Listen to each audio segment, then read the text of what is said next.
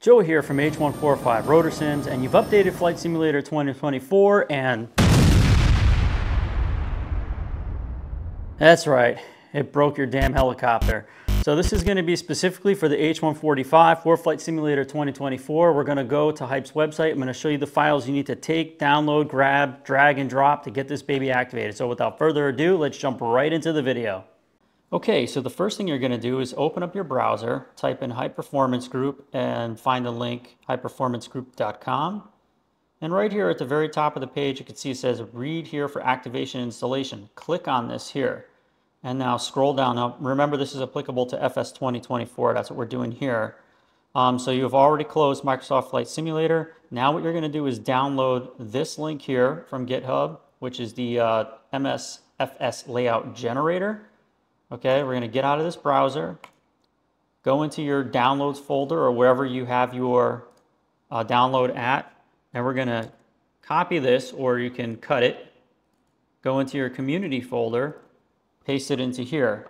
Okay, now if you don't know where the community folder is for Microsoft Flight Simulator 22.4, I'll leave this in the link below as well in the description so you can figure that out. But generally, you want to make yourself a nice shortcut to that link. Next, you're going to go into the standard H145 and you have this layout.j.json. So we're going to move this over here. I'm going to open up my community folder once again. If I can just move this over like this and then this over to here. So now we have the two windows. And so we have this JSON file here. You're going to drag this on top of the MSFS layout generator, okay? It's gonna do its thing. And now we have to do this, if you have the action pack, you have to do the same thing. So go into the AP, which is action pack, take the layout.json, move this over to MSFS layout generator.exe, and that's it. So now we'll hop back into Flight Simulator 2024 and see if we are activated.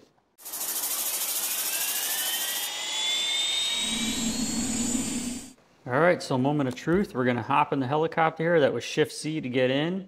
Let's open our tablet, and here we go.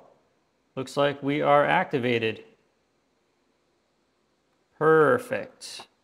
So I made this video because I know a lot of us out there are also visual learners and we want to see it actually happening instead of just following a basic set of instructions to copy and paste these files and where they got to go because I, I could see where the confusion can be. And hopefully this has your H145 activated. I believe it's a similar process for the H160. Also, in regards to Flight Simulator 2024 Sim Update number three, I don't know if it's going to break again, but I guess we'll cross that bridge when we get there. This is for the Flight Simulator Update number two that happened, and I realized that my helicopter was not activated.